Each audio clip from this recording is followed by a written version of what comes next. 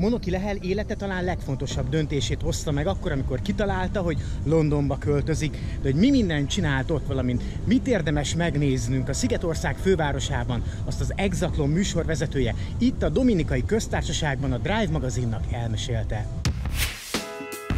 Londonban tanultam, jelek szépen, nagyon érdekes a sztori. 2004-ben csatlakozott Magyarország az Európai Unióhoz, és én akkoriban a Magyar Televízióban dolgoztam, és volt egy műsor a csatlakozás időpontjában Friderikusszal, Balóval, tehát nagy nevek dolgoztak benne, és én, mint segédszerkesztő szintén benne voltam ebben a produkcióban. 19 éves voltam, és, és fölmentünk a Balóhoz egyeztetni, és megkérdezte, hogy milyen nyelven beszélek.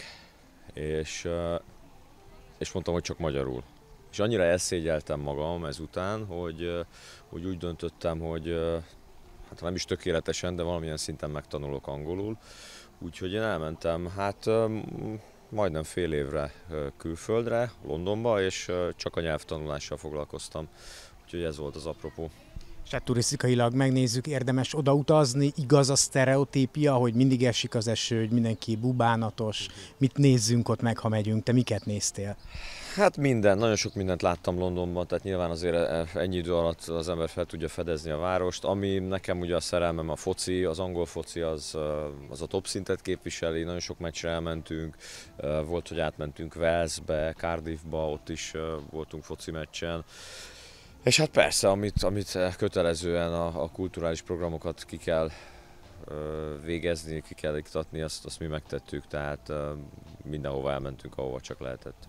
Nekünk mit javasolsz, ha mondjuk elsőként megyünk oda turistaként, tehát te, mint úgymond tanulóként, miket javasolnál nekünk? Hát a parkok gyönyörűek, tehát, és most ne a legnagyobbakra gondoljunk, tehát ne a Hyde Parkra, hanem vannak, én nagyon szerettem azt csinálni, hogy mondjuk busszal közlekedtem, leszálltam egy buszról, és csak úgy elkezdtem sétálni, és ilyenkor lehet a leg jobb, legszebb részeket felfedezni, akár Londonban, akár bárhova megy az ember. A kötelezőket le tudja az ember egy-két hét alatt, és utána jön szerintem az az igazi izgalom, ami, ami egy csomó váratlan eseményt, váratlan helyszínt rejt magában. Úgyhogy én mondom, hogy a parkok nekem nagyon tetszettek, meg ezek a klasszik londoni, brit kis utcák, tudod, amikor úgy, úgy, úgy, úgy azt érzed, hogy na itt vagyok a, a, a ködös Albionban. A kötelező az a Big Ben, a Palota, a Tower Bridge, Palota, őrségváltás, Hyde Park, tehát azok a klasszikus helyszínek, amikre szerintem, ami minden úti könyvben benne van. Madame Tussauds panoptikuma például, oda is első között mentünk el, mert azt gondoltam, hogy hú, mekkora nagy durranás lesz, aztán nem feltétlenül igaz, de, de hát ezeken túl kell esni ahhoz, hogy az ember úgy megnyugodjon, és akkor utána kezdődik szerintem az igazi városnézés. Meg áruld el végezetül mélyen a zsebünkbe kell nyúlni, hogyha Angliába megyünk, Londonba például?